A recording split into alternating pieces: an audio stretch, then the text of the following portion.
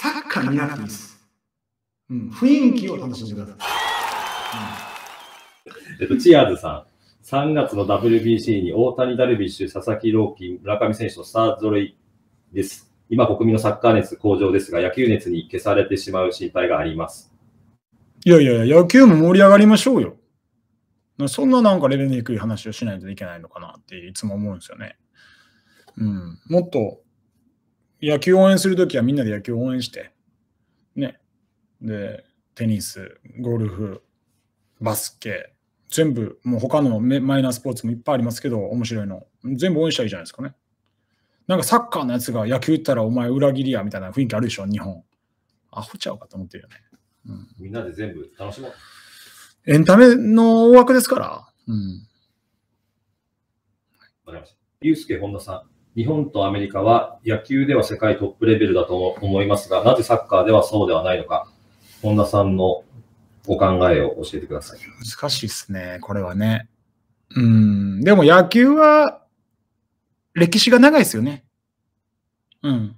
日本の野球の歴史はものすごく長い。アメリカの方が長いんでしょうけど、うん、そこは、なんかサッカーとの場合は、ただたかだか J リーグできて30年ぐらい。でも一方でヨーロッパは100年超えてるんで、まあその差は当然あります。だからちょっとずつすごいスピードで埋まってると思いますよ。うん。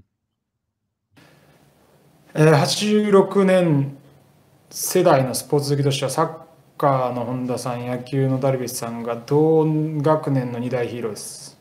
ありがとうございます。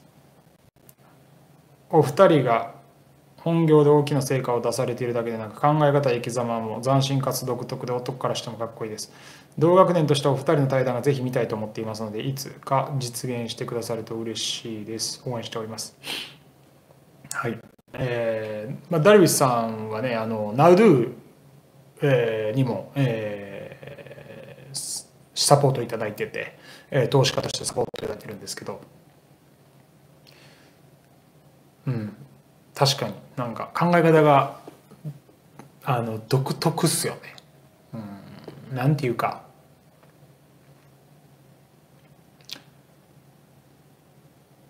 よく高校野球のトレーニングの仕方が根性論みたいなねやことをいまだにやってることに対してまあすんごい自分の言葉でぶった切ってますよね。もうまあもうもうあれはもう間違いないなと思ってるんであれなんですけど。はい。なので僕もねいつかあのお話できる時が来ればいいなと思ってますし、はい、その時は皆さんにも共有できればなと思ってます。まだ分かんないですけど。はい。えー、本田さんと同姓同名のプロ野球選手が西武ライオンで所属しているのを知ってますか？ちなみにピッチャーです。知ってます。はいなんかすごくいい選手っていうふうにも聞いてます。詳しくないんで、あんまり、あの、下手なことは言えないですけど、えー、ポジティブな印象を受けてる、受けてますけどね。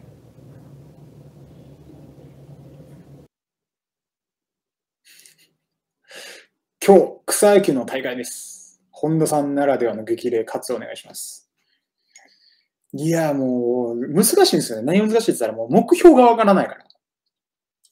うん。でも、まあ、やるからには勝てってことじゃないですか。勝つためにプレイしてください。